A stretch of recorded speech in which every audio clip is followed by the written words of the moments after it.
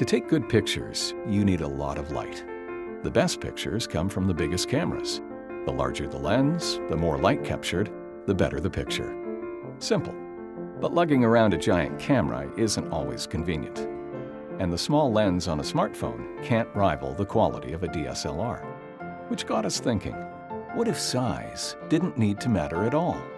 What if we could deconstruct a large lens into multiple small lenses? Welcome to the future of photography. The L16 uses multiple lenses and sensors to shoot photos at the same time, then fuses them into a DSLR quality image. This works by mimicking the way a large lens gathers light. Light from slightly different perspectives enters into a large lens at multiple points, converging onto a single sensor to create an image.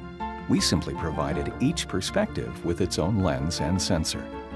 When the L16 takes a picture, 10 cameras capture simultaneously. Mirrors adjust the camera modules to frame overlapping images over the field of view, resulting in a very high-quality image.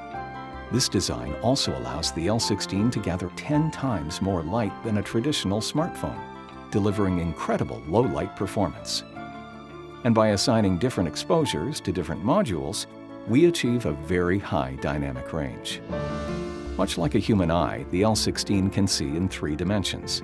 This gives you full creative control over the image, so you can adjust focal plane and depth of field long after taking the photo. Zoom in or out as you would on any smartphone, and you get more than five times optical zoom. Based on your zoom level, the L16 uses mirrors to shift the field of view of the longer lenses into smaller quadrants within the image. The combined information allows you to select any focal length between 28mm and 150mm. No giant lenses required. The L16 takes gorgeous pictures right out of the box. You now have the freedom and flexibility to create the exact image you intended to capture with a camera that fits in the palm of your hand. All you need is a little bit of light.